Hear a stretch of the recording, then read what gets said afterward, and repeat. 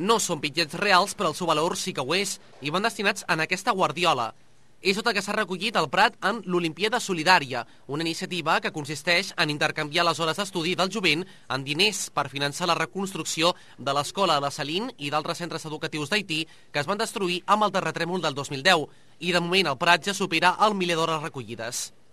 A nivell el Prat fem una valoració molt bona perquè l'any passat sí que va participar Elies Ribera Baixa però amb la remodelació de, de, de la biblioteca no va poder, poder participar-hi, llavors els números han crescut i molt.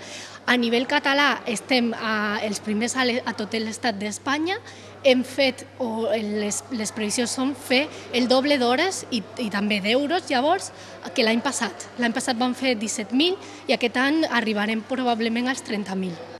Si voleu participar en aquesta iniciativa solidària, podeu fer-ho a la Biblioteca Municipal Antonio Martín Sánchez o a les sales d'estudi nocturn del Cèntric Espai Cultural.